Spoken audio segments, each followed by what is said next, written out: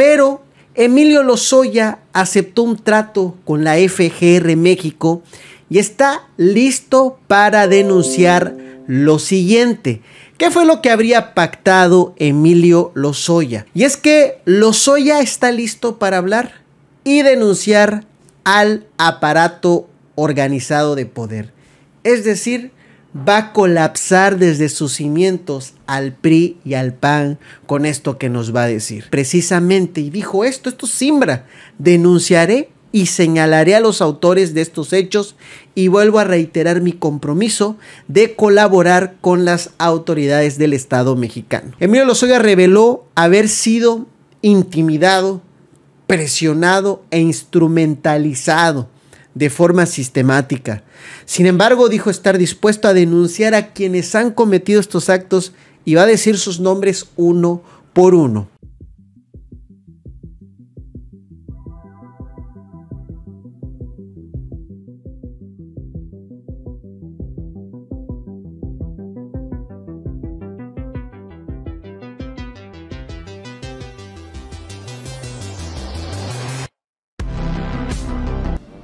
Bienvenidos amigos a una nueva de información más. Mi nombre es Jesús Domínguez reportándoles para Estadística Política. Antes que nada te deseo que tengas un excelente día. De igual manera te invito a que le des me gusta a este video y lo compartas en tus redes sociales. Por esta parte de aquí te van a aparecer unas flechas indicadoras que te van a dirigir hacia un icono que se encuentra ahí en la esquina donde tú le puedes dar clic con el mouse y puedes quedar suscrito más fácilmente a este canal.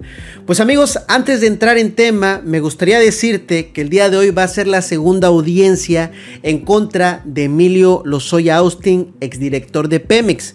En esta audiencia va a ser acusado sobre el caso de Odebrecht. Recuerden que la audiencia que se llevó el día de ayer, martes 28 de julio, fue acerca de la chatarrería agronitrogenados. Chatarrería como lo dice el presidente López Obrador. Y sabemos muy bien que eso es lo que es y fue eh, comprada a un sobrecosto.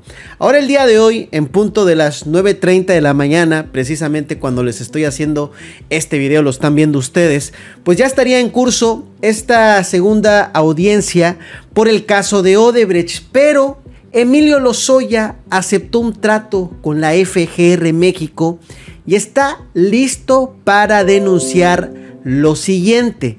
¿Qué fue lo que habría pactado Emilio Lozoya? Bueno, el día de ayer la conferencia pasó poco después de las 7 de la noche, continuó todavía esa audiencia del caso agronitrogenados. Recuerden que van a ser varios casos lo que les van a presentar en su contra. Y es que Lozoya está listo para hablar y denunciar al aparato organizado de poder.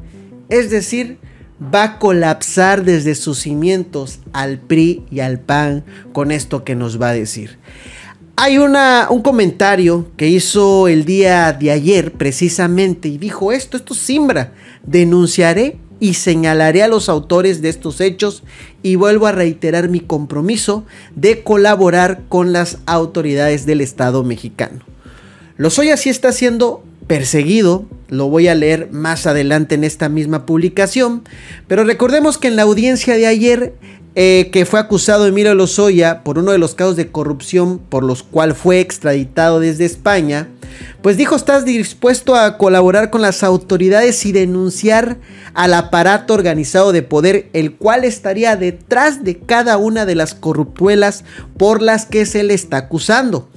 ¿Quién es el juez que está llevando a cabo todo este caso?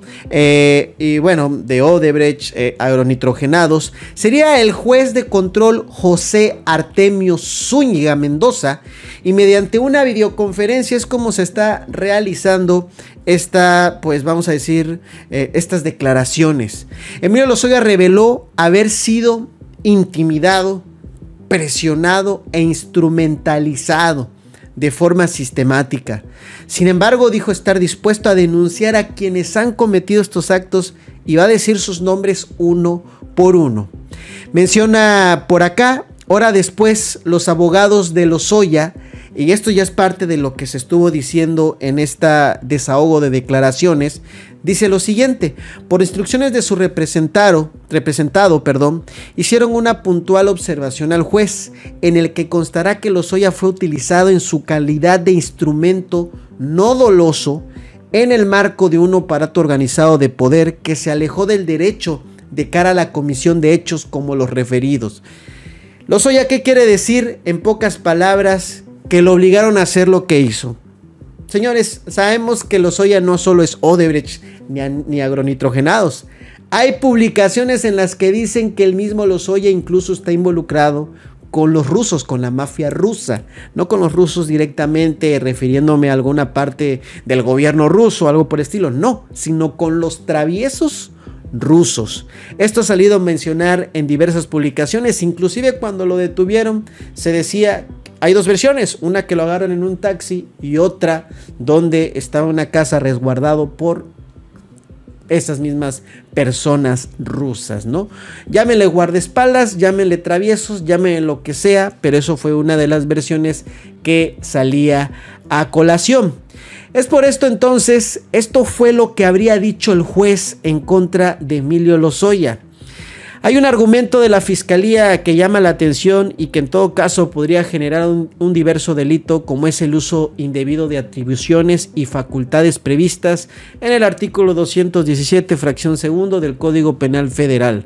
Por último, señor Lozoya, advierto que usted y su defensa se están allanando a la pretensión de la fiscalía, es decir, no se genera ningún debate en cuanto a este tema.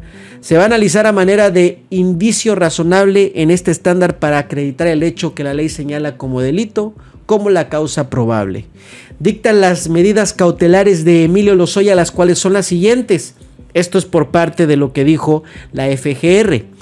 Va a continuar la vigilancia de la policía ministerial en el hospital va a haber la colocación de un localizador electrónico, entrega de pasaporte y visa, por eso de que pues, si se quiere salir del país, aunque va a estar fuertemente vigilado. Se pretende garantizar la presencia del imputado para que siga compareciendo en este proceso. Existe el riesgo objetivo de que se sustraiga a la acción de la justicia y pidió observar el comportamiento integral del imputado, no solo su allanamiento al proceso de extradición. Esto fue lo último que salió del día de ayer que les decía en un principio, se extendió esta audiencia desde las 9 de la mañana hasta pasadas las 19 horas, es decir, 7 de la noche aproximadamente. Hay algo Lozoya que quiere rescatar y es su casa. Dice que antes de que estuviera como director o en la titularidad de Pemex, él ya tenía cierto dinero, cierto recurso guardadito, ¿no? Y también tenía una casa en Lomas de, ay, se me fue el nombre, Bunzares, Banzares, Benzares. Luego se los, eh, se los especifico. Y entonces él menciona que había recibido un pago por parte de Altos Hornos de México. Aquí está, miren, aquí está, Lomas de Besares, aquí lo que menciona, ¿no? Eh, Lozoya fue beneficiado por Alonso Ancira a través de una transferencia millonaria de las cuentas de AMSA en una sucursal de Monclova, Coahuila, a su hermana entre junio y noviembre del año 2012.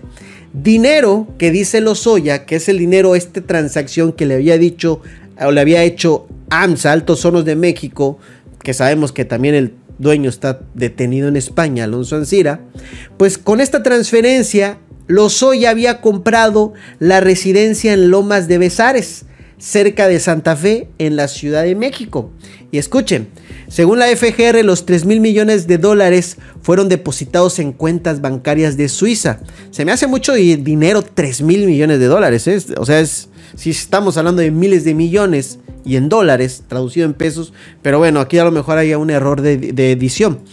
Entonces, este dinero se había depositado en cuentas bancarias suizas a una empresa fantasma con nombre Tochos Holding Límites, la cual pertenecía a su esposa, Hilda Margarita Lozoya Austin, perdón, a su madre, para no tener ninguna relación contractual o comercial con AMSA de México, por lo que se considera dinero recibido mediante un soborno. O sea, Emilio Lozoya no era ni trabajador ni colaborador de AMSA, entonces, ¿cómo es que AMSA le envía un dinero a alguien que pues eh, vamos a decir jurídicamente, legalmente no está, eh, haya una relación entre ellos, ni laboral, nada. ¿Por qué recibe tanto dinero de una empresa desconocida, por así decir? Que sabemos que no eran desconocidos, eran amiguísimos, ¿no? Pues es lo que interpreta en este caso la justicia y dice que esto fue parte de un soborno. Entonces van a seguir las audiencias, hoy empieza a las 9.30 de la mañana, es por esto que dice... Eh, la tarde, bueno, dice aquí de este lunes, un juez federal citó al exdirector de Pemex, Emilio Lozoya, para comparecer a una audiencia programada para este miércoles, que es el día de hoy, y que será por el caso Odebrecht ahora. Confirma la fiscalía que explicó que la audiencia se llevará a cabo a las 9.30 horas en la causa penal. Y en dicha audiencia se va a formular imputaciones contra el funcionario por cohecho, asociación delictuosa, que es la que les digo con los rusos, y la de lavado de dinero. Pues amigos, estos son los pormenores que les traigo por el momento y este es el pacto que había hecho Emilio Lozoya con la fiscalía. Dale me gusta este video, compártelo en tus redes sociales, nos vemos en uno próximo y recuerden, les invito a dos canales, NotiExpress MX y benditas redes sociales. Recuerden que los números siempre serán exactos y si no, es un fraude, como lo soy ya. Bye bye. ¿Quieres apoyar al canal? Ve más videos. Estos son los dos últimos videos que he subido con anterioridad. Nos vemos.